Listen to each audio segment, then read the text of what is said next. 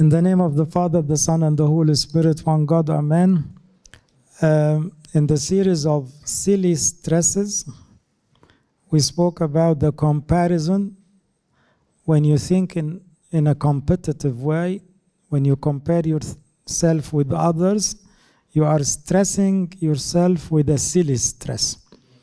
And you should stop this way of thinking. The other, the second point, the second type of stresses, which is really silly, it's the sense of guilt. You all know that the sense of guilt is a gift from God. We need to feel guilty sometimes in order to repent. We had to feel guilty. When you do some bad thing, you feel like there is something wrong. I need to say sorry. Okay, that's very important. But there is kind of a fake sense of, sense of guilt, a silly sense of guilt, uh, something disturbing your mind and your heart, which is not correct. So, not all the guilt feeling is correct or healthy. Some guilt feeling is really destructive. The forms of this silly sense of guilt, uh, again, um, when Cain felt guilty, if you read the book of Genesis, you will find out that Cain, after killing his brother, he felt so much guilty, but he never repented. So the sense of guilt may push you to repent, but may push you away from repentance with the feeling of failure and feeling of rejected and so negative thoughts may come with the sense of guilt and you will never repent and you, you lose hope. Again in the story of esau esau felt guilty sometimes but he never repented. And he tried to kill his brother again. So there is always a useful sense of guilt. It's like the introduction to repentance, the first step in repentance, we all need to feel guilty sometimes. But there is another imaginary or exaggerated sense of guilt um, which is destructive, uh, and that's the silly stress.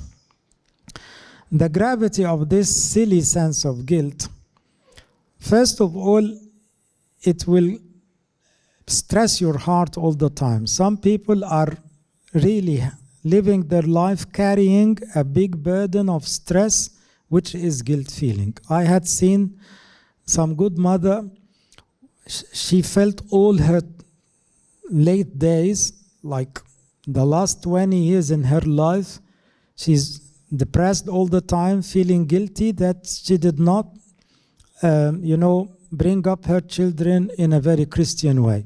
So they did not stick to the church. So they they felt all the time depressed, guilty, and she tried to to to kill herself many times. So that's not correct.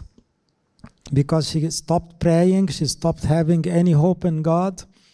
So it works like a brake against growth and happiness. Imagine someone who is like driving a car and the brake is, you know, um, functioning all the time. So you cannot move on. You cannot drive your car. So people may not enjoy anything in life just because this silly stress of having the guilt feeling all the time. Again, uh, sometimes you may have this guilt feeling and been abused by others. Some people are smart and they know that you you are feeling guilty, so they abuse, they make use of this guilt feeling. They aggressively push you to feel guilty all the time in order to control your life, to take what they need. So they abuse you when they know that you are the one who is stressed with this feeling of guilty, they want you to feel this guilt feeling all the time. Also, when you have this exaggerated, silly feeling of guilty, it may lead you to despair, to depression, to some kind of fear. so it will destroy your life. The causes of this um, destructive guilt feeling, uh, the major factor behind this bad feeling is if you faced many many times in your life the high criticism and the harsh tough words of those who are you know telling you you are bad you are big failure. So with this severe criticism usually the one will grow with this bad feeling of stress. Also those who are described being perfectionists they love to have everything perfect. These people are more liable to have this feeling of guilt feeling all the time. Another good reason behind this bad feeling is the wrong education. Someone told me one day that i'm i'm always depressed. I always feel guilty because of the teaching of the church. You always blame us you always tell us you are bad. You, you do not comment on the grace of god enough. You do not speak about the love of god. You do not speak enough about the mercy of god. So i feel always guilty. I can never please god.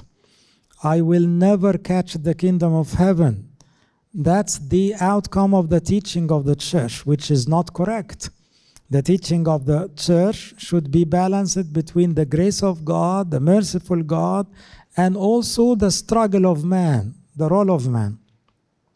So, if the teaching is eccentric and we focused only that you have to do one, two, three, ten, and you do not comment on the work of God Himself, you are pushing everyone to feel guilty all the time.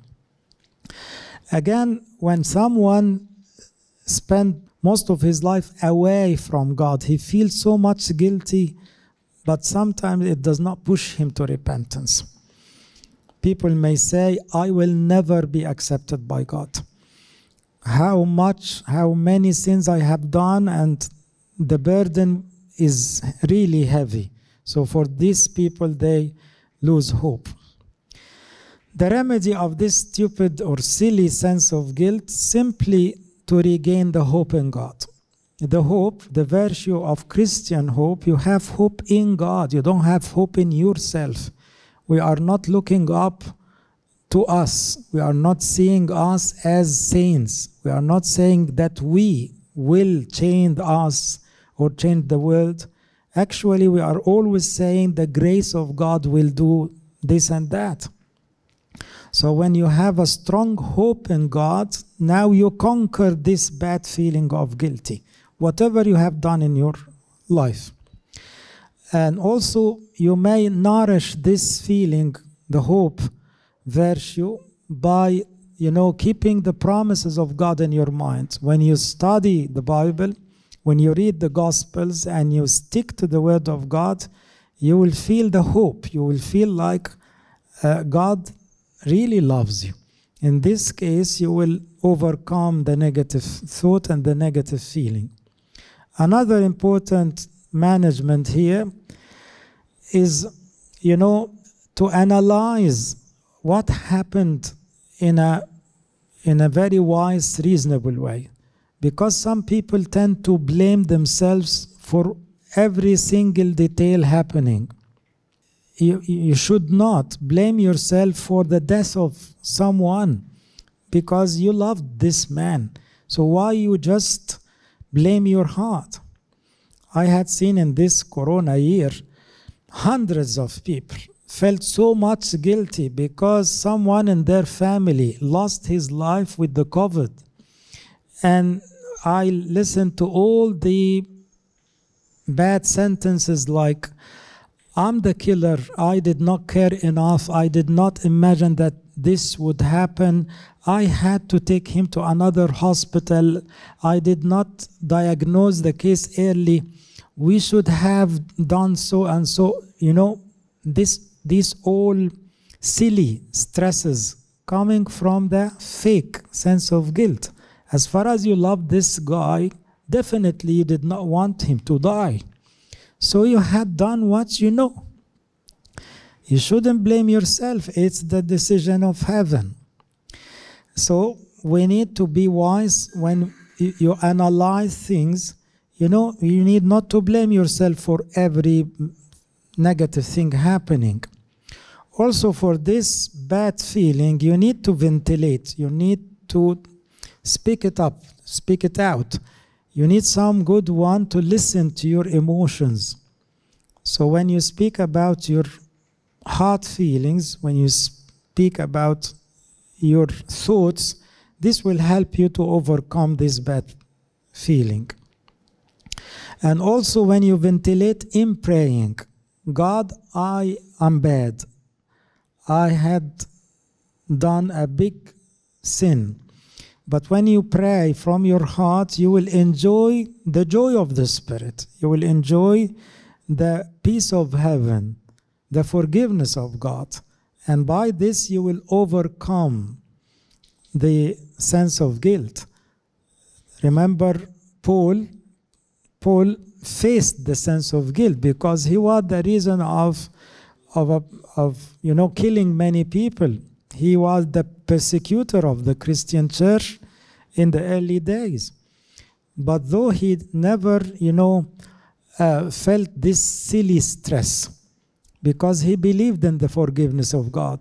He enjoyed the love of God. He was the man of praying. So, because of the power of prayer, he overcame it.